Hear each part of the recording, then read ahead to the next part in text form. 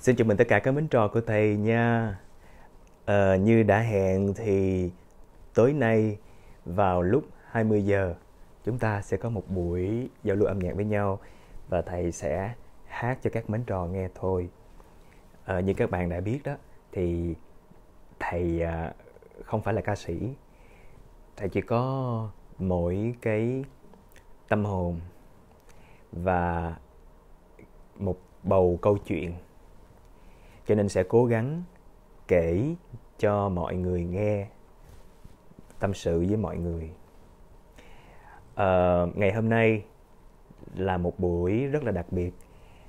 Thầy sẽ không có nói nhiều về tiếng anh mà sẽ dành thời gian chỉ có trải lòng kể chuyện đàn hát cho mọi người nghe. Xin chào The Sun xin chào Phương Kim.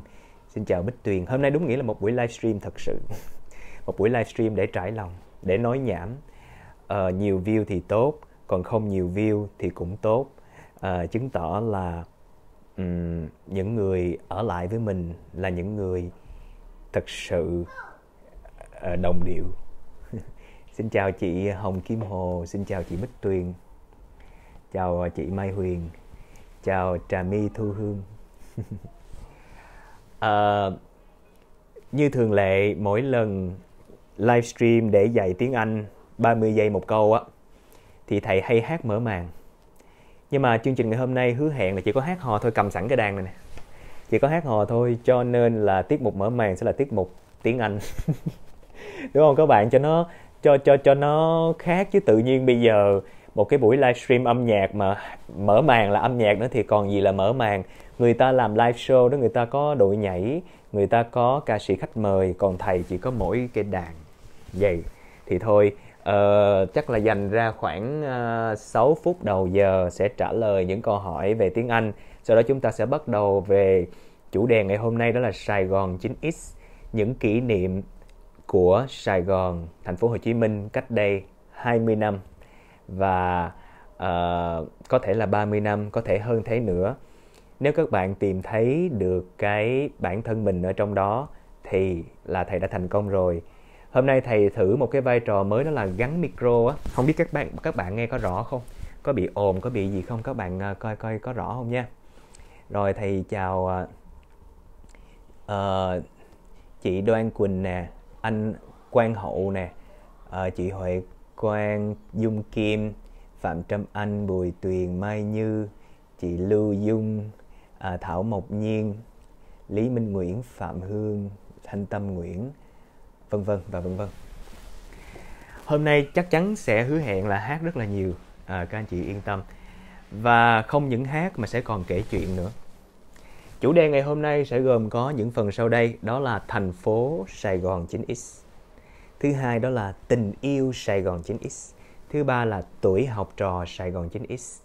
Và và hơn thế nữa à, có những câu chuyện kể um, sẽ đưa các bạn về với không khí Sài Gòn cách đây 20 năm, 30 năm. Đó là mục đích mình ngày hôm nay. À, để cho tất cả chúng ta ở nhà mùa dịch có một cái món ăn tinh thần là âm nhạc ha.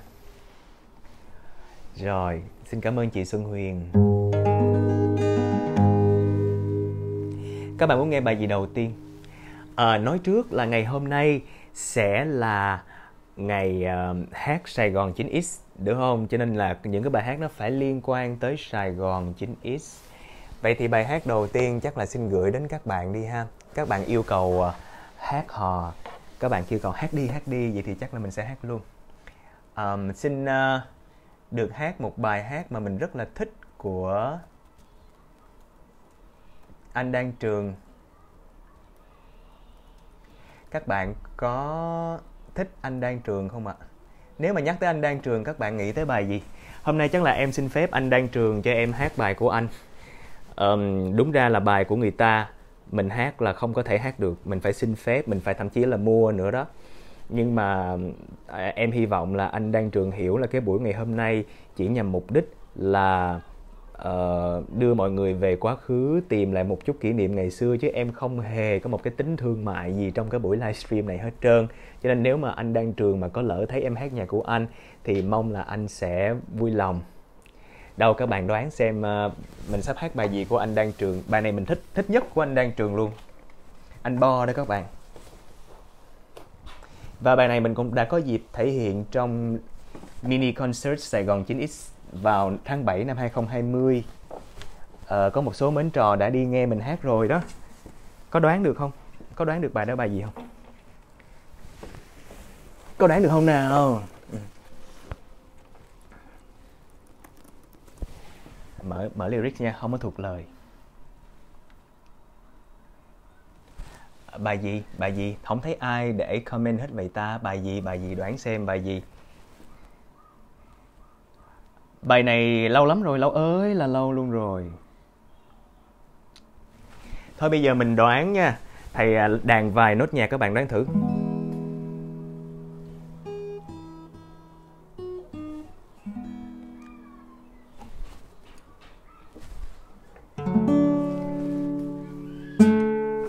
À, đây, cái nốt nhạc nó như thế này.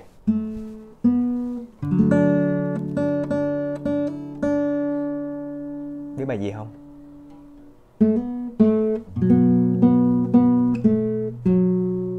Có ai đoán được chưa? Có ai đoán được chưa à có ai đoán được chưa? Lại nè.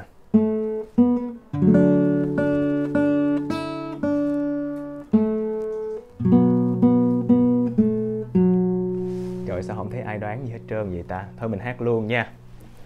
Ok đưa các bạn về với khung cảnh Sài Gòn ngày xưa.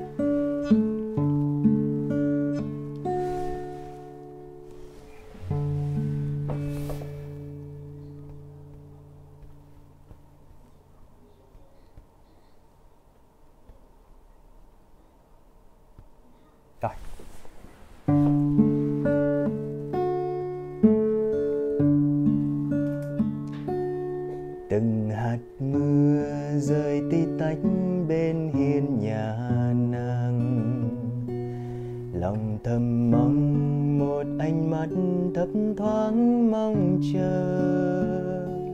Người yêu hơi mãi mãi yêu nàng, em dù biết vẫn luôn hững hờ. Mặc cho anh đêm nay vẫn mơ cuộc tình đôi ta.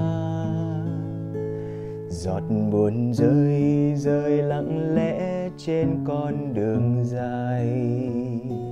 Một mình anh lòng xe sắt với gió đông về. Giờ thôi hết những ước mơ dài, mưa còn rớt rớt trên nỗi sầu. Lạnh đôi vai em ơi, biết chăng tim anh lẻ loi.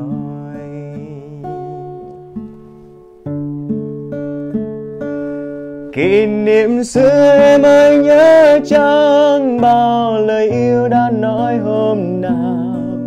từng cơn mưa đôi ta có nhau, phút giây thần tiên. Giờ mình anh trên con phố xưa, ngồi lặng lẽ ngắm mây dần trôi. Mặc cho thời gian hơ hững xô nhau mãi đâu. Chuyện tình yêu đôi ta dễ đôi, bao lời yêu đã vỗ cánh rồi thầm cầu mong cho em hãy quên những kỷ niệm xưa. Cuộc tình ta tan theo giấc mơ hình bóng cũ mãi trôi về đây. Giờ đã hết bao nhiêu yêu thương cô đơn lối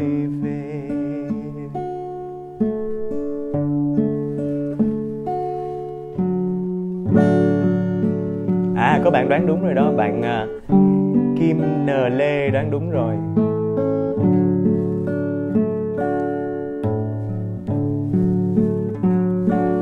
Giọt buồn rơi rơi lặng lẽ trên con đường dài.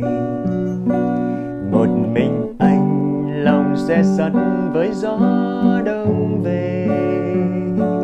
Giờ thôi hết những ước mơ dài, mưa còn rớt rớt trên nỗi sầu lạnh đôi vai, em ơi, biết chăng tim anh lẻ loi. Kỷ niệm xưa em ơi, nhớ chăng bao lời yêu đã nói hôm nào? Từng cơn mưa đôi ta có nhau, phút giây thần tiên. Giờ mình anh trên con phố xưa ngồi lặng lẽ ngắm mây dần trôi. Mặc cho thời gian hờ hững xô nhau mãi đâu. Chuyện tình yêu đôi ta dễ đôi, bao lời yêu đã vỗ cánh rồi. Thầm cầu mong cho em hãy quên những kỷ niệm xưa. Cuộc tình ta tan như giấc mơ hình bóng cũ mãi trôi về đây. Giờ đã hết bao nhiêu yêu thương cô đơn lối về.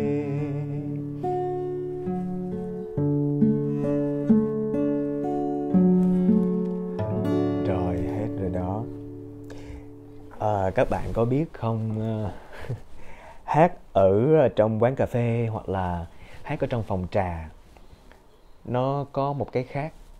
Đó là khi người ta lỡ mua vé vào rồi người ta sẽ ngồi. Hoặc ít nhất khi mà người ta không muốn nghe nữa đó người ta cũng không có đứng lên mà bỏ về một cách nó ờ, lộ liễu. À, và một cái nữa đó là khi mà bạn hát xong cho dù bạn hát hay hay hát dở bạn cũng sẽ nghe được những tiếng vỗ tay hai điều đó không hề có trên livestream các bạn biết á ở đây livestream nó thể hiện số người xem. Tự nhiên đang hát tự nhiên một ngàn mấy người đang coi. Hát xong cái còn có chín ngàn ở chín trăm mấy còn có tám trăm mấy bảy trăm mấy cũng bị cục hứng không các bạn. Như là mình mình hát trước uh, quảng trường xong rồi hát xong mình cái người ta đi về hết trơn cái nghe nó cũng nó, nó cũng sẽ um, có một cái chút cảm xúc nhỏ nhỏ. Và hát xong vắng lặng như tờ không ai vỗ tay chứ, đó thì đó là cái số cảm xúc thì uh, uh, chắc là sẽ gửi cho các bạn thêm một cái bài hát nữa của Sài Gòn ngày xưa để coi như là bắt đầu chương trình ngày hôm nay. Chương trình vẫn chưa bắt đầu. vẫn chưa bắt đầu bởi vì uh, vẫn chưa hát cái bài nào trong Sài Gòn 9X. Đây là nhạc của người ta. Vậy thì mình sẽ hát thêm một bài nữa, một bài mà mình cũng rất là thích. Đố các bạn đoán được là bài gì nha. uh, anh Hà Anh Tuấn á, có một cái Ờ, uh, chuỗi bài hát gọi là See, Sing, Share. Cái đó rất là hay các bạn. See là thấy, sing là hát và share là uh, là chia sẻ. Cho nên see, sing, share là ảnh thấy bài gì hay thì ảnh hát lại và ảnh chia sẻ, tức là nhằm một mục đích là đưa mọi người đến với cái uh, cái cảm xúc mà ảnh có. Thì ở đây mình cũng giống như vậy tất nhiên là không thể nào hát hay bằng anh Hà Anh Tuấn. Mình chỉ ờ, hát những gì mà mình cảm thấy là hay thôi. Và hy vọng các bạn cũng thấy giống như vậy. Uh,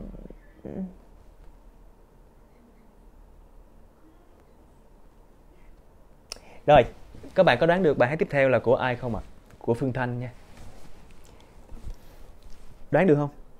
Mình sẽ cố gắng giả giọng Phương Thanh à, nếu mà cô Phương Thanh có nghe được chị Phương Thanh có nghe được thì cũng ờ, tha thứ cho em. Em hát bài này là vì sự ngưỡng mộ chị chứ không hề có một cái ý gì khác.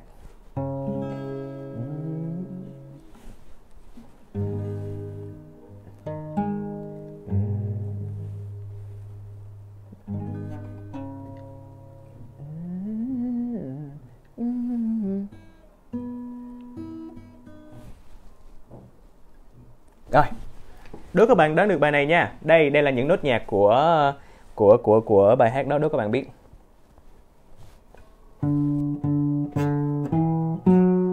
Biết bài này không?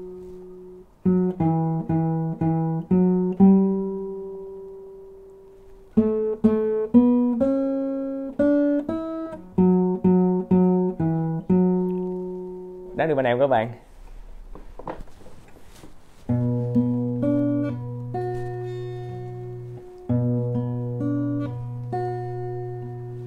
Chiều một mình qua phố tâm hồn lạnh lùng buốt giá sao em nghe thấy môi mắt anh yêu còn đây? Đêm về trằn chọc thao thức, nhớ thật nhiều làn môi ấm. Anh yêu dấu hơi sao nỡ quay lưng? Tình ta vẫn thiết tha bao tháng ngày. Sao anh nỡ bước đi theo người?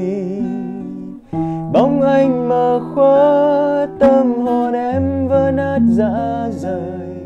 Giờ anh đã bước đi tình với người, vì anh đã hết yêu em rồi. Bóng em lẻ loi trong chiều mưa. Có bạn yêu cầu trống vắng kìa. Chiều một mình qua phố tấm hồn lạnh lùng buốt giá. sao em nghe thấy môi mắt anh yêu còn đây? Đêm về trằn trong thao thức, nhớ thật nhiều làn môi ấm anh yêu dấu hỡi sao nỡ quay lưng bước vội đi? Tình ta vẫn thiết tha bao tháng ngày, sao anh nỡ bước đi theo người? Bóng anh mờ khuất, tâm hồn em vỡ nát ra rời. Giờ anh đã bước theo tình với người, giờ anh đã hết yêu em rồi. Bóng em lẻ loi chia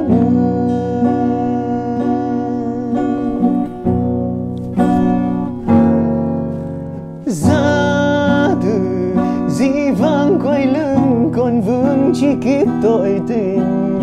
Giá từ dĩ vãng xa xôi đã xa dầu vương mắt ai. Giá từ quên đi cay đắng, quên đi giọt nước mắt rơi giá từ giá từ rằng là chẳng còn chi nữa.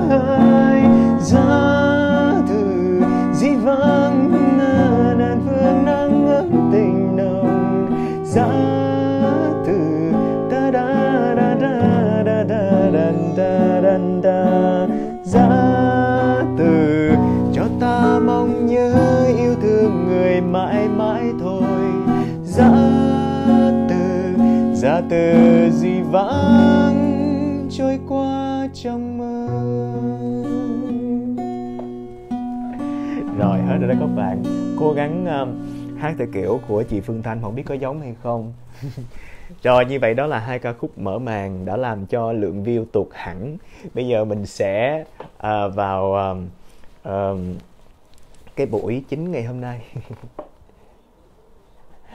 Ok um, như vậy vừa rồi là hai ca khúc mở màn của uh, một cái buổi trải lòng về Sài Gòn 9X thực ra mình thấy lượt view giảm chứ mình cũng không có buồn.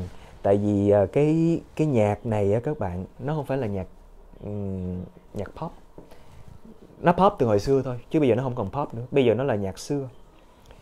Cho nên là cũng không sao.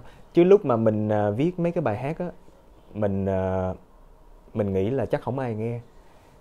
Uh, nhiều khi mình làm một cái buổi âm nhạc chỉ có ba người nghe thôi đã là một điều uh, an ủi rồi. Cho nên ở đây đang có hơn 600 người nghe như vậy là một điều an ủi quá lớn. Mình không dám mong cầu gì hơn. Thì uh, uh, cũng xin cảm ơn tất cả mọi người vẫn còn trụ lại tới bây giờ.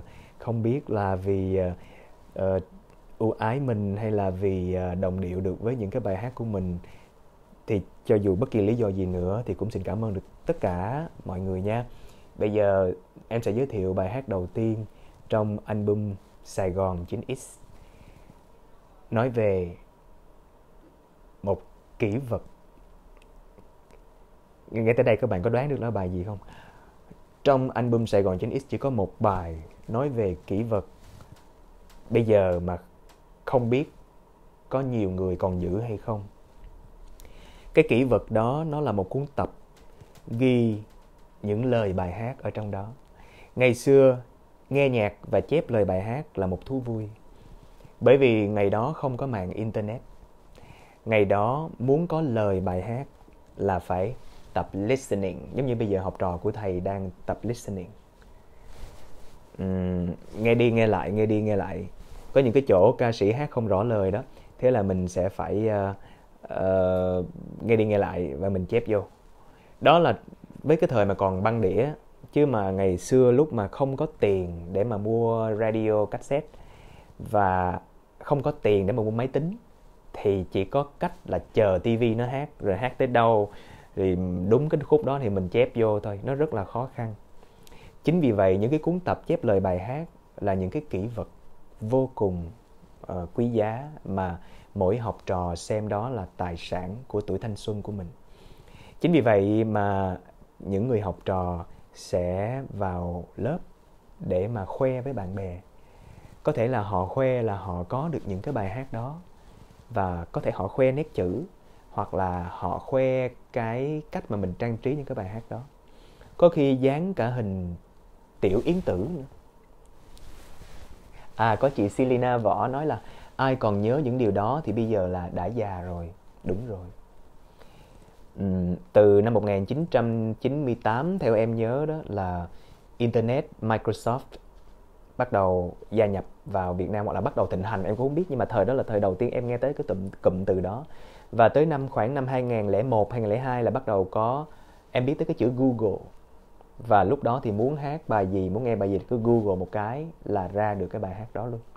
Cho nên ngày hôm nay em xin uh, hát cho tất cả các anh chị và các bạn nghe một bài hát để tri ân cái cái cái cái cái cái cái kỷ vật của tất cả chúng ta. Nếu như các anh chị còn giữ thì có thể chụp hình lại và cho em xem nha. Bài hát được mang tên cuốn tập lời ca. Không phải là quyển vở lời ca nha các bạn, mà là cuốn tập lời ca. Đó là bởi vì Sài Gòn, người Sài Gòn gọi cuốn tập là cuốn tập, chứ không có gọi là quyển vở. À. rồi, mời các bạn cùng nghe. Um kìa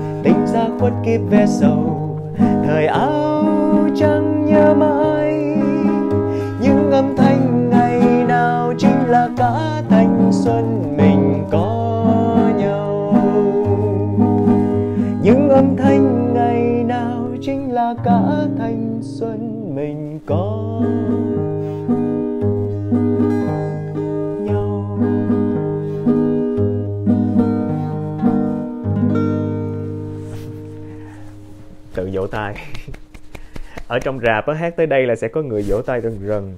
Ờ, mặc dù à, không biết là hát hay hay dở nhưng mà cứ hát xong là người ta sẽ vỗ tay. Nó cũng là một cái nguồn động viên đúng không? Uhm. chủ đề ngày hôm nay đó là Sài Gòn 9X nói về à, thành phố Hồ Chí Minh cách đây 20 30 năm và như đã hẹn thì à, em có chuẩn bị một số câu chuyện để mà kể cho mọi người nghe hồi chiều hồi trưa đó lúc mà em đăng cái bài uh, uh, nói là hôm nay livestream các bạn kể kỷ niệm đó thì có rất là nhiều anh chị đăng. Ồ, cảm ơn chị Trang. Chị Trang nói là sinh ra làm ca sĩ nổi tiếng nhưng mà ba mẹ lại bắt thầy đi dạy. Thực ra thầy rất là rất là cảm ơn các anh chị vì à, vì vì vì những lời khen. Tuy nhiên tuy nhiên thầy yêu công việc giảng dạy vô cùng. Yêu lắm. Các bạn không biết đâu. Tại sao thầy lại làm thầy? Làm thật ra thầy là các bạn các bạn gọi thầy là thầy thôi chứ thầy đâu có muốn này là thầy làm thầy. Thầy làm là mình thôi. Mình xưng mình đi ha. Xưng em đi cho nó dễ thương. Tại đây họ chắc các anh chị lớn hơn em. Ờ, thế thì ờ, ngày ngày đó em ờ, em học lớp 9 là em được học cái bài công nghệ sinh học cây thuốc lá phát sáng. Đợi chút mở tí nhạc cho nó có không khí. Em mở nhạc xong em kể chuyện cho mọi người nghe nha. Câu chuyện em đã là giáo viên như thế nào? Câu chuyện em đã kiếm đồng lương đầu tiên như thế nào? Và câu chuyện thu nhập. Ờ, ờ, uh, ok đợi đợi em xíu nha.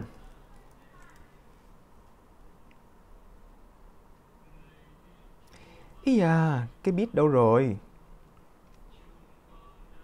À. Ok, mở nhạc lên, nhạc lên. Em phải mở nhạc của em. Tại vì uh, em mà mở nhạc của người khác là nó đánh bản quyền mất. Là tự nhiên mình đang livestream cái là nó nó nó nó nó nó đứng yên luôn. Đây, mở nhạc lên nha. Rồi. Xin kể cho các bạn nghe câu chuyện tại sao mà mình lại chọn làm nghề giáo. Và đó chính là cái tình yêu của mình, chứ không phải là mình muốn làm ca sĩ mà ba mẹ bắt làm nghề giáo đâu. Um, mình học lớp 9, em học lớp 9 là lúc đó học môn công nghệ sinh học của cô, lúc đó em còn nhớ cô tên là Bảo Châu, không biết cô có đang coi không. Có cô uh, Bảo Châu dạy môn sinh vật lớp 9, lớp 93, trường Trung học cơ sở Chu Văn An, quận 11 thì em rất cảm ơn cô bởi vì cô đã cho em tình yêu đối với công nghệ sinh học. Các bạn biết tại sao không? Đó là cô giảng về cái cây thuốc lá phát sáng. Là một cái nói chung là một cái cây nó biết phát sáng. Tại sao lại cây phát sáng được? Tại vì Trời ơi hên quá, đang livestream mà hết tiền. Ấy lộn, hết mạng may quá còn 3G một lát nữa 3G mà nó hết là coi như đứng luôn nha các bạn. Trời ơi, thật là quê. Thì lúc đó, cây thuốc lá phát sáng, tức là một cái cây. Cái cây đó có thể phát sáng được là do người ta cấy cái gen đom đóm của con phát sáng. Cái cái gen đom, phát sáng của con đom đóm vô cái cây thì là nó phát sáng. Thì đó là thành tựu của công nghệ sinh học. Thành tựu cấy chuyển gen. Và em rất là thích, tại vì em nghĩ rằng em nghĩ rằng người ta nếu mà đã chế tạo được cây thuốc lá phát sáng là sẽ chế tạo được con mèo biết bay con heo biết hát hay là cái cây biết nói. Chỉ cần râu ông nọ cắm cầm bà kia thì nó sẽ ra một cái sản phẩm. Em nuôi mộng trở thành một cử nhân công nghệ sinh học để em có thể chế ra những cái đó để mà em có thể đem bán và em kiếm tiền. Thế thì um, em nuôi mộng đó suốt năm lớp 9, lớp 10, lớp 11 và lớp 12. Lớp 12 em đã uh, gọi là nộp đơn học ngành công nghệ sinh học của trường đại học khoa học tự nhiên. Rất là quyết tâm. Và em học giỏi, học giỏi thiệt. Rất, điểm rất là cao 8 học kỳ thì học kỳ nào cũng có học bổng trừ một học kỳ xin lỗi 8 học kỳ thì 7 học kỳ đều có học bổng cả. Học bổng là dành cho những người học giỏi đó các bạn thì mới được học bổng. Học bổng là được miễn phí được miễn học phí coi như là được miễn học phí tại vì cái tiền học bổng nó bằng với lại cái tiền nó học phí. Thế thì nói một cách nào đó là mình được học miễn phí là nhờ học giỏi. Và chính vì vậy mình nghĩ rằng mình rất giỏi cho tới khi mình vào thực tập ở trong phòng thí nghiệm. Và cái cái cái cái, cái trải nghiệm đó không có được tốt trong phòng thí nghiệm thì uh, tay chân mình lóng ngóng đầu óc mình hay quên. Mình uh, râu ông nọ cắm cầm bà kia. Tới bây giờ cái râu ông nọ cắm cầm bà kia nó vẫn ăn sâu vào nhiều thứ kể cả cái việc mình chế nhạc đó các bạn thấy không? Thế là mình làm lung tung beng hết trơn. Đối với một nhà khoa học mà có tính nghệ sĩ đó thì không thể nào có thể kỷ luật được. Mình gây ra một sự thất vọng to lớn cho cán bộ hướng dẫn cho thầy cô hướng dẫn và sự bất ngờ cho bạn bè và cái sự hụt hẫng cho chính bản thân của mình. Trời ơi tại sao mình học giỏi như vậy mà tại sao bây giờ nó lại như thế kia? Ờ, trong mười mấy đứa vô làm thực tập thì tự nhiên mình nằm trong top không phải top trên các bạn mà là top dưới. Những cái top giống như học sinh cá biệt. Ôi thái dương chuẩn bị thuyết trình nghĩa là chuẩn bị nghe chửi. Đó có mỗi, mỗi lần mà mình chuẩn bị thuyết trình một cái là sẽ nhận được rất là nhiều gạch đá kiểu vậy thì lúc đó mình rất là stress. Cái stress nó nhiều lắm các bạn. Stress về mặt thể chất làm từ sáng cho tới trưa tới chiều tới tối. Có khi 6 giờ sáng là phải lên làm và tới 10 giờ đêm mới được về. Có cái đó có đó. Uh, và đó là về mặt bên ngoài. Còn về bên trong á mình bị rất là hụt hẫng và hoang mang mình cảm thấy mình bị bị bị lọt thỏm. Mình cảm thấy giống như là đánh mất giá trị bản thân. Mình đang là một học sinh giỏi. Tự nhiên bây giờ trở thành học sinh cá biệt. Stress dữ lắm. Sụt rất là nhiều ký. Uhm. uh, nhưng mà chắc các bạn nghĩ là vì vậy mà mình đi dạy phải không? Không. Ai mà nghĩ như vậy xin lỗi nha là xúc phạm nghề giáo. Thiệt đâu phải là mình làm cái gì khó quá thôi đi dạy cho nó dễ. Uhm, xúc phạm xúc phạm. Hay là mình nhớ này là mình nhớ tới một cái cái cái cái cái cái hồi xưa đó lúc mà có một cái ông ở Mỹ ông bị mất visa hay là ông bị mất passport gì đó không biết. Thế là người ta chia sẻ cái bức hình đó nó là ơi mọi người ơi cho ông một cái công việc đi dạy tiếng Anh đi để ông uh, kiếm sống. Ờ, tôi nói ủa? Trời dạy dạy học đâu phải là cái chuyện mà mà là là là là là, là, là như vậy đâu đúng không? Trời ơi dạy học là phải đàng đàng hoàng chứ đâu phải là cứ cứ biết tiếng Anh là đi dạy được đâu. Có thiếu gì công việc để làm? Ví dụ như là chạy Grab nè chạy xe ôm nè hay là đi uh, làm bảo vệ nè thấy không? Hay là đi uh, làm gì nữa? Hay là đi um, giao hàng nè hay là đi uh, uh, làm lễ tân nè hay là đi rất là nhiều cách đúng không? Ý mình không phải là nói những cái nghề đó là là là là là là dễ không phải. Nhưng mà đó là lao động phổ thông. Cái này mình phải ờ, công nhận đúng không? Lao động phổ thông có nghĩa là uh, nhiều người có thể làm được. Đó trong khi mình nghĩ rằng cái việc làm nghề giáo không phải là lao động phổ thông. Chính vì vậy cho nên là mình uh, stress. Và lúc đó mình có đi dạy mình đi dạy rồi, chứ không phải là stress quá rồi mình mới bắt đầu đi dạy, không phải không phải.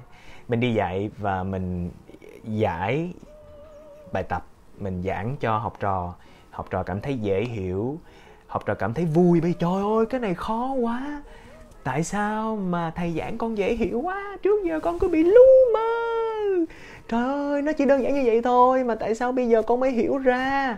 Thích quá, thế là thích lắm, bạn ấy bạn thích lắm bạn thể hiện cái niềm vui và cứ mỗi ngày bạn mong chờ mình tới để dạy cho bạn. Giống như các bạn đang có những cái khúc mắc gì đó, bạn rất cần một cái vị cứu tinh ở đâu đó xuất hiện để giải tỏa thắc mắc cho các bạn. Thì may mắn quá, mình làm được cái cái chuyện là mình giải tỏa được khúc mắc cho học trò. Học trò nó thích. Và thế là mình vui.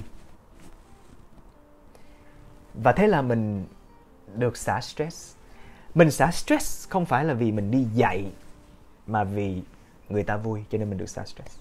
Thì lúc đó mình mới nghĩ rằng oh, ok. Thế thì thôi uh, khi mà sau này khi mà mình tốt nghiệp rồi đó mình lay lắc mình ra được khỏi trường rồi đó mình sẽ ờ, đi làm công việc chuyên môn vào buổi sáng công nghệ sinh học.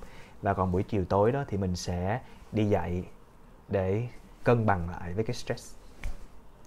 Chứ không phải là ừ, khói khó quá cái bỏ rồi phải không? Xong ngày tốt nghiệp cũng đã tới và mình uh, được tốt nghiệp thủ khoa chuyên ngành công nghệ sinh học công nghiệp. Rất là nhiều cơ hội mở ra. Mình được tuyển thẳng để học cao học. Có một chỗ cho đề, đề xuất cho thực tập luôn. Chỉ còn là một chuyện thôi. Đó là về đọc cái bài luận này đi đọc cái bài nghiên cứu này đi. Xong rồi viết báo cáo cho tôi là được coi như là phải phải có một cái một cái tấm vé thông hành chứ không phải là cứ ai à, vô là nhào vô trời người ta có một cái trung tâm nghiên cứu nổi tiếng người ta đã cho cái đặc quyền như vậy rồi thì cũng phải làm cái động thái gì đó chứ không thể nào mà đường đường bước vô bước ra được đúng không? Thì đó nó là như vậy. Thì uh, mình cũng không biết làm sao mà mình rất là lay lắc mình mình cứ vất va vất vưởng mình không thể nào mà mình hoàn thành xong cái bài đọc bài đó được tại mình không có cảm hứng á. Uh, bởi bởi vì á khi mà tốt nghiệp xong là một cái khoảng thời gian tất cả mọi người chạy đi tìm việc, trong đó có bạn của mình. Thì à, bạn của mình cần phỏng vấn bằng tiếng Anh để vào một cái công ty nước ngoài. Thì mình giúp cho bạn của mình và cũng vậy bạn mình rất là ok. Oh yeah. Mình làm cho bạn mình tự tin. Mình làm cho mọi thứ nó dễ dàng. Và khi các bạn á, nếu mà những những ai ở đây những những ai ở đây mà đang gọi là có ý định làm giáo viên á hãy nhớ là làm cho người ta cảm thấy mọi việc nó đơn giản. Cái đó mới là là đi dạy thấy không? Thì mình làm cho mọi thứ nó dễ dàng. Cái môn cái môn nói là cái môn khó mà mình làm cho bạn ấy đó oh, I can speak. Tôi nói được rồi nè tôi nói được rồi nè tôi thích quá. Thế là bạn ấy đi phỏng vấn bạn ấy tự tin và bạn ấy đầu phỏng vấn của Unilever. Và mình rất là vui mình cảm thấy là mình là không phải là người vô dụng các bạn. Chứ khi mà mình học giỏi đó xong rồi mình vô phòng thí nghiệm mình trải qua một cái giai đoạn mà mình tên nói là nó nó vô cùng stress mình cảm thấy mình vô dụng mình cảm thấy mình dở và cái cảm giác nó nó không hề dễ chịu thế nào hết trơn. Và bây giờ mình cảm thấy ơ mình có một chút xíu giá trị đối với xã hội. Thế thì uh, mình rất là vui ha. Và khi mà con người mà ham vui cho nên là nghiện cái cảm giác đó ok. Và song song đó cái tiếng lành nó đồn xa. Thế thì ờ, nhiều người cũng muốn mình chỉ cho họ học. Và và từ từ, một cách từ từ, mình trở thành người đi mang lại niềm vui cho dân chúng, cho thiên hạ. Và mình đã rất là vui. Mang lại càng nhiều niềm vui cho nhiều người thì mình lại càng vui. Chính đó là một cái câu chuyện kể sơ sơ how I became a teacher today. Nó sẽ còn nhiều thứ lắm các bạn. Nói chuyện như chứ không có dễ mình đã phải đấu tranh rất là nhiều. Mình đấu tranh với bạn bè. Trời ơi, bạn bè, áp lực bạn bè chứ. Trời ơi, bạn bè mình nó vô, nó nó ta nói là nó thạc sĩ, tiến sĩ, rồi hả, du học, đủ thứ hết mình không có. Đó là một cái phải đấu tranh. Thứ hai, đấu tranh với thầy cô. Sự kỳ vọng của thầy cô. Hay là các bạn ơi, các bạn nhớ không? Một cái mình được tuyển thẳng đó. Người ta cho cho mình cái cơ hội trong khi những người khác phải sức bất sang bang đi luyện ờ, đi ôm rồi đi thi rồi đi mình có cho một cái cơ hội. Mình đã nắm trong tay như vậy mà mình lại bỏ đi. Cái đó là phải đấu tranh dữ lắm các bạn nó không có dễ dàng để làm chuyện đó. Rồi đấu đấu tranh với ba mẹ của mình nữa. Ba mẹ tất nhiên là không cấm cản cho nên không phải chuyện ba mẹ bắt làm giáo viên đâu nha không có đâu nhé à, ờ, không không không có. Nhưng mà kỳ vọng sẽ có những cái sự kỳ vọng. Một cái quá trình học tập 4 năm trời không thể nào mà đùng cái bỏ đi được. Đó mình đấu tranh với những cái đó. Và quan trọng nhất là đấu tranh với bản thân. Mình sẽ không có biết là sau này mình sẽ như thế nào. Lúc đó một người 22 tuổi có bao nhiêu thứ ở trước mắt. Bước qua một cái là không biết là mình sẽ sẽ mất mãi mãi. Đúng không? Hay là mình sẽ có lại được? Không không ai biết được. Nếu con đường mình đi là đúng, thì quá may mắn. Còn nếu con đường mình đi là sai là mất hết mất hết tất cả mọi thứ đó thì nó cũng nó nó rất là khó khăn các bạn chứ nó không có dễ dàng. Nhưng mà may quá mình đã có mọi người mình đã làm được. Và bây giờ thì nói gì nói mình không có nhiều bằng cấp. Nhưng mình rất, rất là vui vì có sự bằng lòng của tất cả các mến trò đang theo dõi ở đây đang học. Và đang ngồi đây nghe kể lễ như vậy thì uh, tôi nghĩ là tôi vui rồi. Uh, trải qua cũng đâu cũng gần 10 năm lăn lộn với biết bao nhiêu là sóng gió lên voi xuống chó. Thì mình nhận thấy là um, um, mình mình nhận thấy là mình già hơn. Tất nhiên là già nói chuyện du duyên trải trải qua 10 năm thì mình thấy mình già hơn xưa. Chuyện đó là chuyện bình thường đúng không? Nhưng mà mình cảm thấy là mình mình có nhiều cái sự thay đổi so với thời tuổi trẻ mình không có còn sợ nhiều. Mình mình mình đơ nói chung là đơ là cái cảm giác mà đầu tiên mà có được. Ngày xưa ai mà chửi mình mình cảm thấy rất là tức. Mình chỉ muốn chứng tỏ họ thấy là họ sai. Còn bây giờ ai chửi mình ok ok. Uh, hay là ai ai chê mình hay là ai góp ý cho mình ngày xưa mình làm thấy ghê lắm. Không phải là mình chửi lại tất nhiên nhưng mà mình sẽ cố gắng để cho họ thấy rằng ừ, no không phải gì đâu. Nhưng mà bây giờ thì mình cảm thấy ok mình cứ đón nhận hết tất cả những lời góp ý đó. Kiểu gì và nó cứ đơ đơ đơ đơ đơ ra vậy. Rồi khi mà có thành tựu thì cũng không có quá vui. Chẳng hạn như vừa rồi các bạn thấy cái bài ờ, Sài Gòn tôi sẽ được rất là nhiều người đón nhận báo chí săn đón ghê lắm. Như mình hồi trẻ là mình sẽ rất là vui. Cái này không phải là mình à, phủ nhận cái cái vai trò của các anh chị phóng viên đối với mình. Mình rất là thích rất cảm ơn các anh chị đã giúp bài hát được lan tỏa đó, nhưng mà về cảm nhận của mình thì mình cũng thấy nó cũng là một một gì đó rất là bình thường. Nó cũng sẽ chóng qua. Nó nó sẽ nó sẽ hết. Chỉ có cái giá trị mà mình cho xã hội là nó còn lại và nó lưu danh đời sau. Đó. Thì uh, uh, càng lớn chúng ta sẽ càng như thế. Sẽ không còn sợ sẽ không còn rung động. Sẽ không còn cái gì. Nó sẽ đơ dần. Và sẽ có những lúc mình nhớ về cái thời mà mình vẫn còn rung động vẫn còn bồng bột vẫn còn sôi nổi. Và bây giờ tiết mục âm nhạc lại bắt đầu sau tiết mục kể chuyện ha. Thầy xin tặng cho tất cả các anh chị một bài hát um, viết về thời ngày xưa. Không biết có ai biết là bài gì không? Đoán xem mọi người đoán coi. Bài gì bài gì?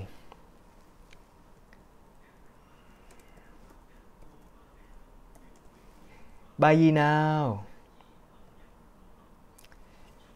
Một bài hát viết về thời à, học sinh trích trong album Sài Gòn 9X đây giống như là bài single số 2 Bài này phát hành ngay sau bài uh, Sài Gòn 9X mà mình cũng đã có dịp biểu diễn ở nhiều trường rồi, đặc biệt là trong uh, cái cái giai đoạn uh, là um, uh, gì đó? Giai đoạn 20 tháng 11 uh, à, những ngày đó mình hay hát cái bài này có ai đoán được? Như vậy ok bị rớt mạng. Ca khúc được mang tên gửi lại. Mời quý vị cùng lắng nghe.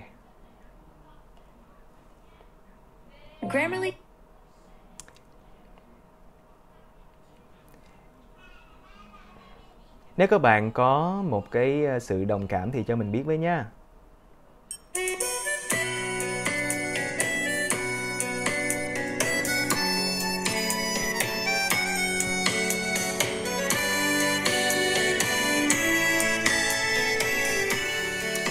Hay là mình đứng lên ta? Đem như là anh đè à, màn sân khấu nha các bạn. Đây là màn sân khấu. Còn đây là cái micro.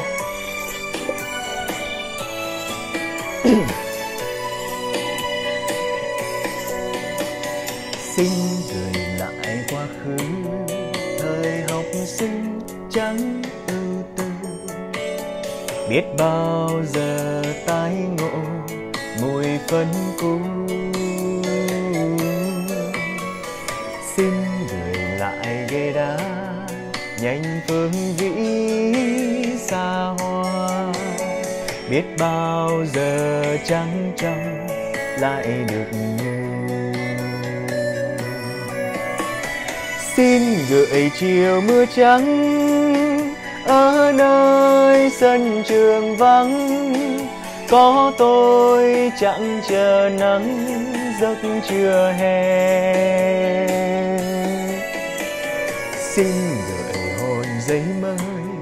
cùng bao nhiêu nỗi trời vơi. Những rung động háo hức lẫn rụt rè. Gửi lại những em đêm của mối tình đầu. Gửi lại những câu từ khó nói ngày nào.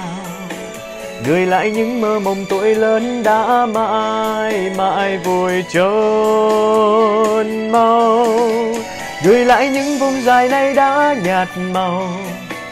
Gửi lại những run sợ nay biết tìm đâu. Gửi lại tất cả niềm yêu dấu. Hãy đắm chìm trong giấc ngủ sâu.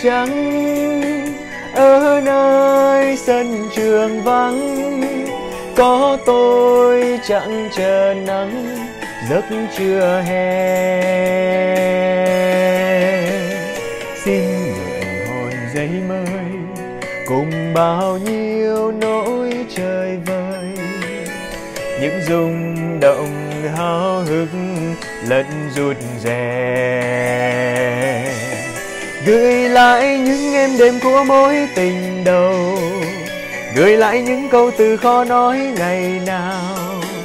Đời lại những mơ mộng tuổi lớn đã mãi mãi vùi chôn mau gửi lại những vùng dài nay đã nhạt màu.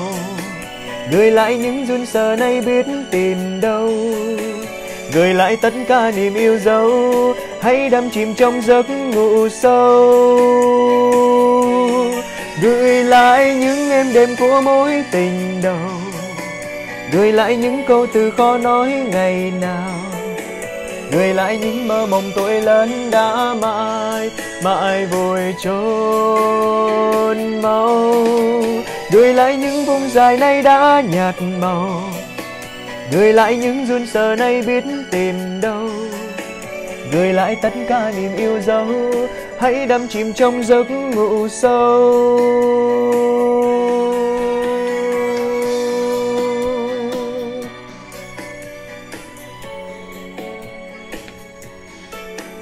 Tiếp tục chương trình sẽ là một bài hát uh, có nhịp điệu khá là vui mà mình đánh giá là vui nhất ở trong cái album Sài Gòn 9X.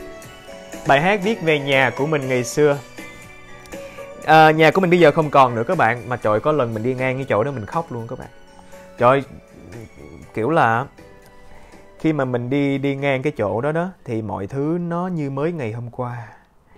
Uh, và có đây nè cái chỗ này ngày xưa mình còn nhỏ xíu và tự nhiên có gì nó nó nó chạm tới cái cái cảm xúc của mình, thế là mình rung động vậy thôi. Và mời các bạn nghe ca khúc nhà tôi. Bài này mà phải đứng lên nhún nhảy nó mới vui.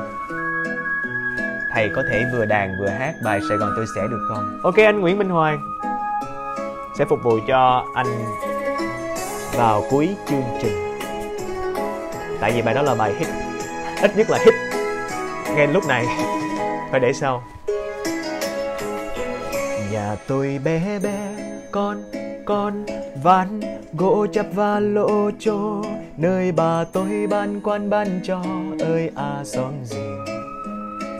Nhà tôi khi ấy trước cửa trong một cây cao ấy cây mận. Nơi trẻ thơ lóc nhóc lưu díu ơi à bạn hiền. Nhà tôi xưa loang lỗ gây tường khói bếp khắp nhà. Làm cay cay đôi mắt tôi, cay mắt tôi. Nhà tôi khi ấy tôi, tôi ngồi quấn quay bên chiếc tivi. Đen và trắng bé bé để kể nhau nghe chuyện đời. Ôi tôi nhớ mong. Ôi tôi nhớ mong tôi nhớ mong, tôi nhớ mong. Ôi, tôi nhớ mong. Ôi, tôi nhớ mong. Xin được trở về lại tuổi thơ. Nhà tôi khi ấy có gánh bắp nấu lâu lâu ngang qua. Khi chiều xuống ấy có tiếng dao bánh tiêu bánh bò nhà tôi còn có mảnh đất, bọn tôi hay khoét lỗ bắn bì. Có giày dép nơi đưa ấy vẽ phân trời lò cò. Tạc lon nhảy dây đập tường, nhà tôi bên con hẻm gấp ghềnh nơi có ông nội, tập cho tôi chạy xe đạp, xe bé nhỏ. Nhà tôi như vậy vậy chào từ biệt tôi trong ánh nắng vàng trong ngày ấy lúc mới biết đến tháng năm hồng trò. Ôi, tôi nhớ mong, ôi, tôi nhớ mong, ôi, tôi nhớ mong, tôi nhớ mong.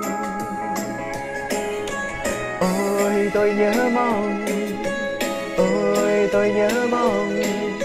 Xin được trở về lại tuổi thơ.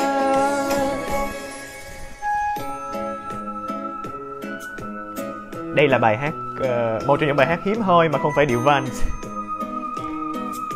điệu này gọi là điệu fox.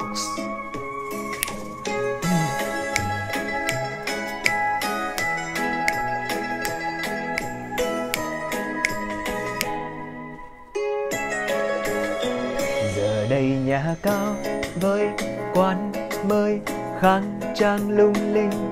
Đâu còn nữa ấy những tiếng dao bánh tiêu bánh giờ đây trẻ thơ đắm đuôi một niềm vui thú riêng mình.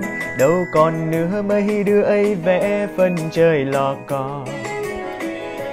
Giờ đây bao khu phố chọc trời, ai cũng tất bật.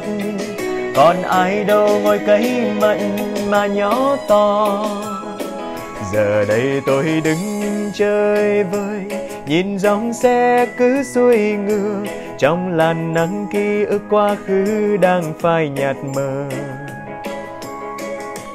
Ôi, tôi nhớ mong. Ôi, tôi nhớ mong. Ôi, tôi nhớ mong, tôi nhớ mong. Ôi, tôi nhớ mong. Ôi, tôi nhớ mong xin được trở về lại tuổi thơ. Ôi, tôi nhớ mong. Ôi, tôi nhớ mong. Ôi, tôi nhớ mong, tôi nhớ mong. Ôi, tôi nhớ mong. Ôi, tôi nhớ mong. Xin được trở về lại tuổi thơ.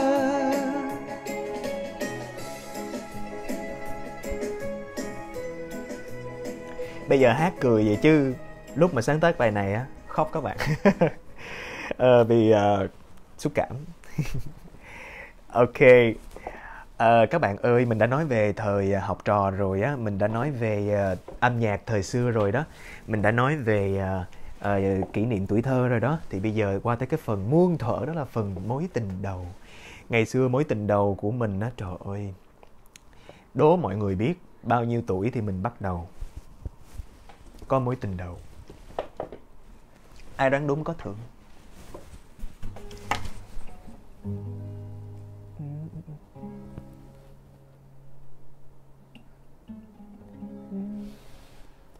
À, mối tình đầu của mình bắt đầu từ năm mình học lớp 4 Lúc đó là mình 10 tuổi Và mình để ý một cô bạn. À, Lâu lắm rồi. Thì uh, um, bây giờ cô bạn ấy đã có chồng có con rồi. Uh, thôi hát đi. Tại vì uh, mình thấy mình thấy mình chắc là mình phải um, học hỏi chị lê cát trọng lý chỉ vô là chị hát chứ không có nói nhiều như mình. Tại vì mình hát dở cho nên mình phải lấy câu chuyện để mình lấp liếm uh, thì các bạn ngày xưa có tình yêu á thôi kể cho bạn một chi tiết thôi. Đó là mình với lại cô bạn đó rất là thích. Mình thích cô bạn đó vô cùng. Mình đeo đuổi đeo đuổi đeo đuổi cô đó từ lớp 4 cho tới lớp 6 luôn. Tới lớp 6 vẫn chưa chưa cưa được. Mà cổ ghét mình lắm. Tại vì cứ cứ đeo đuổi hoài người ta bực bội. Dai như đĩa. Sau này cổ mới nói mình như vậy là dai như đĩa thế thì ờ, không biết làm sao? Đây là kinh nghiệm cho các anh nam. Ờ, người ta nói là, mình quên mất cái câu đó rồi, mà kiểu là, đừng có nản, bạn cứ đeo đuổi đi. Dai vô là sẽ được. Và cuối cùng thì giữa năm lớp 6 cô ấy đã đáp lại. Cô ấy nói là ờ đeo dai bực bội vậy đó chứ, nếu mà không đeo nữa thì thấy nó thiếu thiếu gì đó. Thế là từ đó chấp nhận và thế là mới viết thư qua lại trời một ngày. Tao nói quy viết quá, trời thư các bạn ơi, thư rất là nhiều. Rất là tiếc là trong một lần giận dỗi, mình đã đốt hết và cổ cũng đốt hết. Chứ không là hai đứa vẫn còn giữ những bức thư đó. Bây giờ đọc lại chắc cười chết luôn. Thư. Mà ngày xưa gửi thư trong lớp, đâu phải là gửi là, nè, thư nè, nó có chuyện đó. Gửi là gửi cây bút, cuốn cuốn cuốn bức thư lại bỏ cái bút. Nè, cho mượn viết nè. Đó rồi uh, tự nhiên cái gấp cuốn tập lại đưa tự nhiên cái đi ngang đưa cuốn tập là biết chắc chắn có gì trong đó. Vui lắm mà ai cũng hiểu hết. Vậy mới vui các bạn. Khi mà các bạn gửi ám hiệu mà người ta bắt ám hiệu cái đó mới là vui. Thời hồi xưa của của mình như vậy đó không biết là thời bây giờ có em nào Gen Z đang coi livestream không biết thời của em bây giờ có vậy không? Ờ, rồi hả? Ngày xưa đó nha trong một lần đi chơi với lại cái đám bạn chung thì có tới nhà của một bạn kia và một cái chuyện động trời đã xảy ra các bạn ơi. Các bạn có muốn nghe chuyện động trời không? Đó là lần đầu tiên trong cuộc đời. Lúc đó mới có lớp 7 lớp 7 lớp 8 gì đó. Đi xe đạp lúc đó còn đi xe đạp. Mỗi lần đi chơi là nguyên nhóm tập trung ở cổng trường và đi xe đạp. Thì mình đi qua nhà của bạn đó. Uh, nguyên đám luôn chứ không phải hai đứa vô nhà của bạn đó. Xong rồi um, đắp mền lại. Và các bạn biết mình làm gì không? Mình nắm tay bạn đó. Trời, chưa bao giờ được nắm tay. Ngày xưa khi mà đưa thư đó nha lâu tại bạn đó ngồi trên mình mình ngồi dưới này. Ờ, bạn đó mỗi lần mà đưa thư nhiều khi cô đang giảng bài ngồi cầm cái viết đưa nè cái đưa thư là cái mỗi lần mà viết mà viết thư kiểu bây giờ mình nhắn tin. Ngày xưa làm như có điện thoại nhắn tin. Ờ, viết một cái bức thư nhỏ xíu vậy nè viết viết viết viết, gấp lại xong mày chọi lên đó. Bên đó dí dí trả lời, chọi xuống đây, chọi qua, chọi lại, không biết có học được cái gì hay không. Đó, rõ ràng này mình đâu có nhớ lúc đó mình học cái gì đâu, nhưng viết thư là nhớ à không? Mình chọi qua, chọi lại, có một lần cô ấy đã bất cẩn như sau. Cô ấy đã đang học, đang viết, xong rồi cái hả, lớp đang phân phát ngồi viết bài, cô cũng viết thư, xong rồi tay phải vừa cầm viết, vừa nhìn lên, tay trái cầm bức thư đưa ra phía sau xong cái mình mới lợi dụng mình mới nắm luôn cái tay đó cái trời ghê quá. Kiểu vậy đó. Hồi xưa nắm tay mà vậy đó các bạn. Trời ơi, ghê quá. Trời ơi, tự nhiên đang ngồi mà cái hét lên giữa lớp vậy đó quê thấy mồ. Đó cho nên là không bao giờ mình được nắm tay. Chỉ có cái lần đó đi vô cái nhà của của của cái cái cái bạn đó là tự nhiên cái đắp mền lại lén lén nắm tay. Không ai biết mình nắm tay cả. Và cái chuyện nắm tay đó cái chuyện rất động trời. Các bạn thấy những cái những cái những cái cảm xúc của Sài Gòn 9X nó như vậy. Không biết là bây giờ các bạn Gen Z uh, như thế nào với nhau phải không? Lúc đó mình lớp 7 đó các bạn. Chắc là nhiều người cũng đang nói rằng là trời ơi tại sao thầy lại vẽ đường cho hưu chạy như thế? Tại sao lại nói với các mấy bạn là thầy yêu đương từ tuổi lớp 7 rồi lỡ các bạn bắt trước các bạn yêu đương rồi thì sao? Thì thầy mượn lời của một chị học đồng nghiệp của thầy chị nó nói thẳng luôn nè đó là chị thúy. Chị nếu mà chị đang coi livestream em mượn câu của chị nha. Chị uh, nói câu rất hay. Chị là hiệu trưởng của một trường rất là nổi tiếng ở cần thơ chị nói là uh, quý vị phụ huynh cứ lo rằng là tôi vẽ đường cho hưu chạy. Nhưng mà các vị ơi các vị không vẽ thì hưu nó cũng chạy. Chi bằng các vị vẽ đường cho hưu nó chạy đúng bây giờ các bạn không nói về chuyện yêu đương các bạn né tránh thì tụi nó vẫn cứ yêu đương tụi nó lớn lên. Tình yêu là như vậy. Ngày xưa chúng ta cũng đã đi học chúng ta cũng có những tình yêu tuổi học trò mà. Lúc đó không dám gọi là tình yêu chỉ dám gọi là tình thích thôi. Đó. À, đó là cái câu chuyện mối tình đầu của mình. À, mối tình đầu. Và bây giờ xin mời quý vị cùng lắng nghe một ca khúc viết về những mối tình của Sài Gòn 9X được mang tên là Có cô em bím song song. Các bạn cũng có thể kiếm bài hát này trong album Sài Gòn 9X. Nghe lời tự tình của một chàng trai nhé. À, xin lỗi, lại là điệu Vans nữa.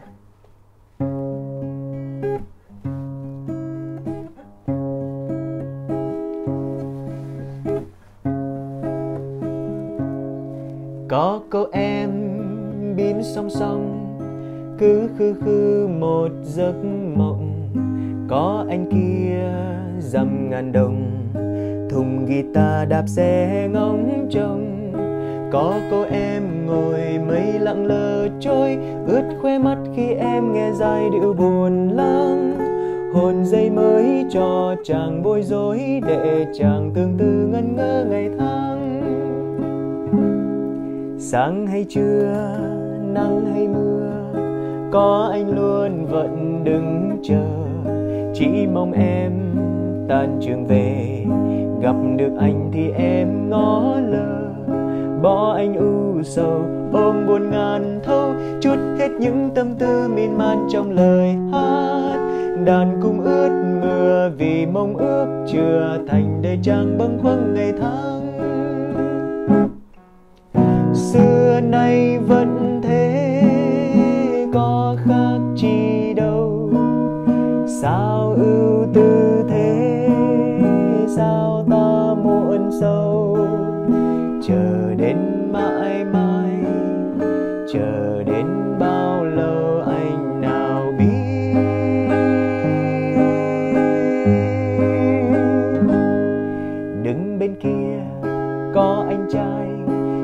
Honda cùng tóc dài.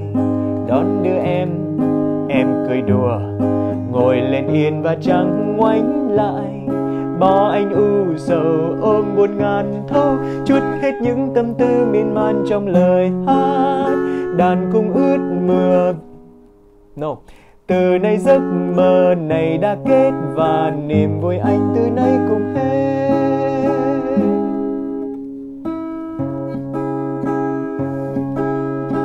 Hồi nãy quên kể với các bạn. Tình yêu Sài Gòn 9X còn có những cuộc nấu cháo qua điện thoại nữa. Điện thoại bàn chứ không phải điện thoại di động. Và nấu cháo tới mấy tiếng đồng hồ, cứ 7 8 giờ tối là lại gọi cho nhau. Nói cái gì không biết, nói quá trời quá đông. Người ta gọi là nấu cháo luôn đó. Không biết có ai ở đây có kinh nghiệm đó thì comment chữ yes nha. Xưa nay vẫn thế có khác chi đâu. Sao ưu tư thế, sao ta muộn sâu? Chờ đến mãi mãi, chờ đến bao lâu anh nào biết?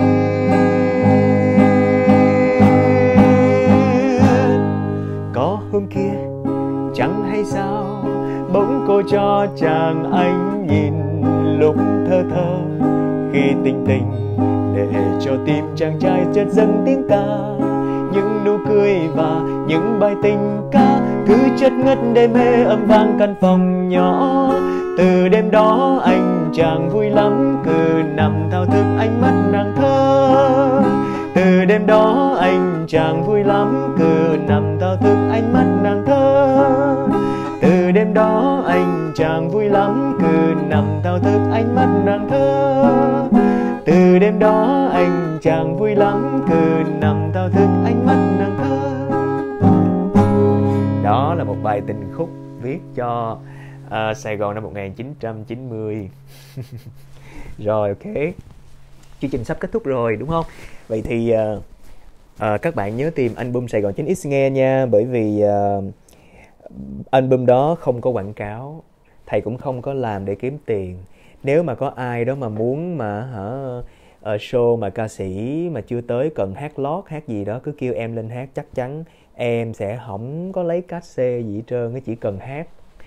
Hát được hát là vui rồi. Ok để để để được uh, kể những cái câu chuyện của Sài Gòn ngày xưa là vui lắm rồi. Um, ra bưu điện gọi từ chiều cho tới họ đóng cửa luôn thầy trả tiền. Thấy bà nội kinh nghiệm của anh Hoàng. Vậy là anh Hoàng ngày xưa cũng nấu cháo điện thoại mà nấu điện nấu có bưu điện. Ok ok. Gửi cho các bạn một bài hát uh, áp cuối trước khi thực hiện lời yêu cầu của anh Hoàng. Thực ra mình cũng định hát bài đó rồi vào vào cuối chương trình để tặng cho Sài Gòn. Bây giờ còn đây là bài hát coi như là cuối cùng trong album Sài Gòn 9X trong đó còn nhiều bài hơn nữa nhưng mà thôi ở đây hát uh, này trước. Uhm, bài hát được mang tên là Sài Gòn 9X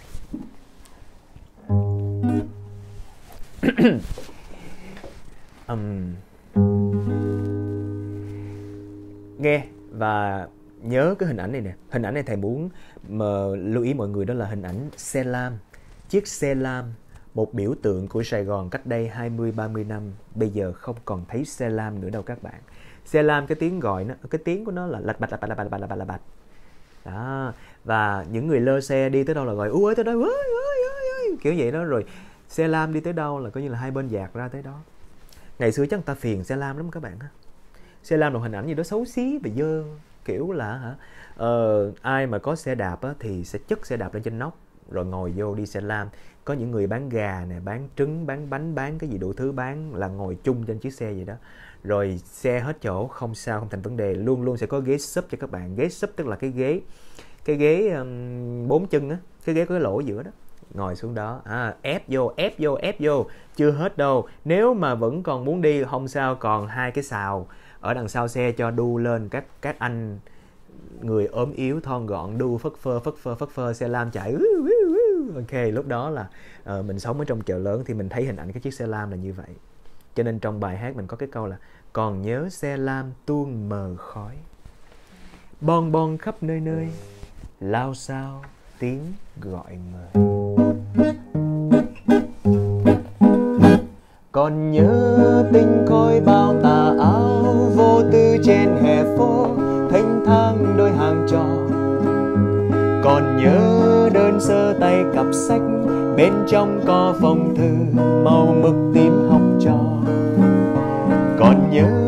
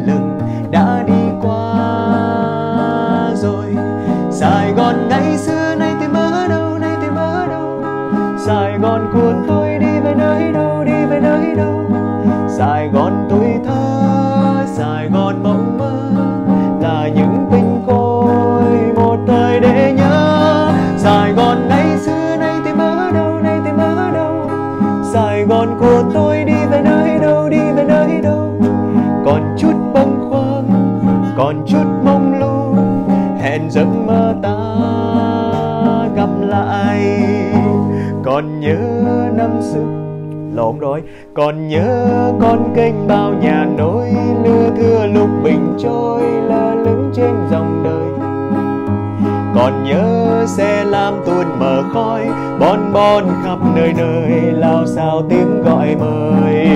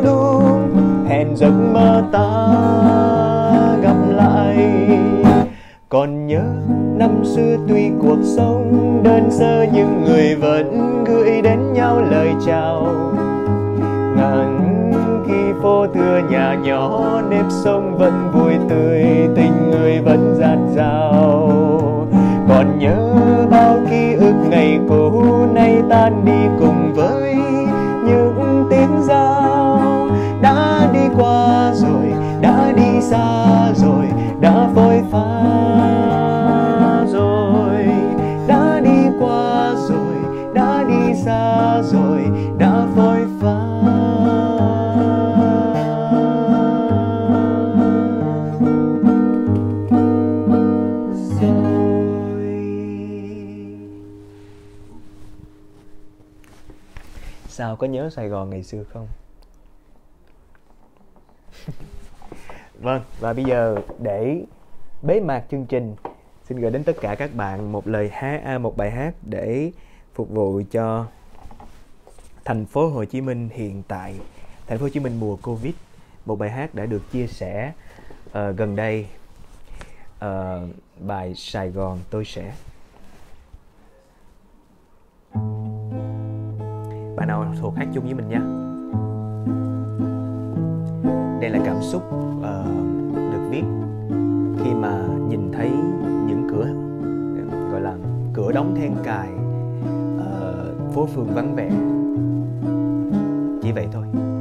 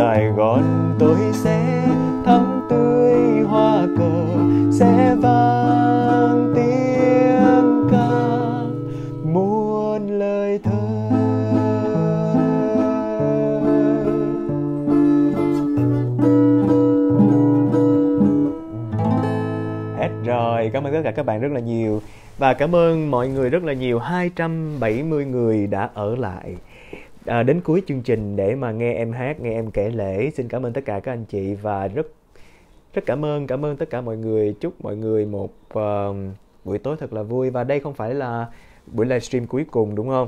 Nhưng mà chắc là sẽ phải rất lâu Em sẽ mới làm lại cái livestream về Sài Gòn 9X Ờ, em định làm một cái ờ, show ở ở ở Hà Nội. Như cũng đâu đó là khoảng tháng 7 này nè nhưng mà nó đã nó đã tan theo mây khói. Ờ, rồi cho nên là vậy ha.